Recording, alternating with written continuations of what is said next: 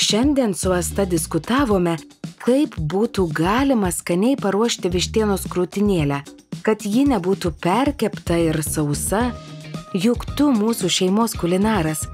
Gal turi idėjų? Tikrai taip. O kad įsitikintum, jog tai ne tik įmanoma, bet ir gana lengva, iškart tau ir pagaminsiu sultingą vištienos krūtinėlę su brokoliais ir porais. Skamba skaniai. Kepsi keptuvėje ar orkaitėje? Visų pirma, pakepinsiu daržoves ir vištieną zylę nepridegančio paviršiaus keptuvėje, kuriai reikia labai nedaug riebalų, todėl vištiena neprisigers aliejaus. Įpilsiu grėtinėlės, patroškinsiu ir viską dėsiu į orkaitę.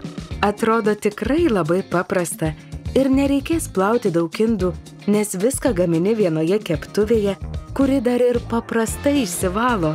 Na pažiūrėk, dar šiek tiek ir gali ragauti sultingą ir neperkeptą vištieną.